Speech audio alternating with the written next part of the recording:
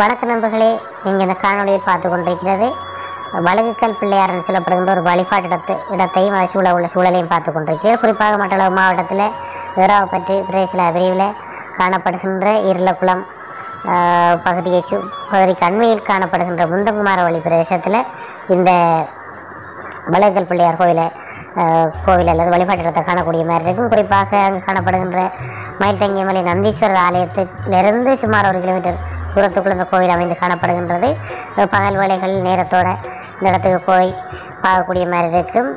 Evening அல்லது பின்னேற வேலைகளில் வந்து இந்த பகுதிகளில் யானைகள் நடமாட்டம் கூட இருக்கிறதுனால இந்த பகுதி போகிற கொஞ்சம் ஆபத்தானதாக இருக்கிறது ஆகவே பகல் வேலைகளில் இந்த நீங்கள் போய் பார்த்துக்கொள்ளக்கூடிய மாதிரி இருக்கும். சுற்றி வர பசுமையான காடுகள் சிறிய பாறை குன்றுகள் பாறைகளை கொண்ட பகுதியாக இது காணப்படுகிறது.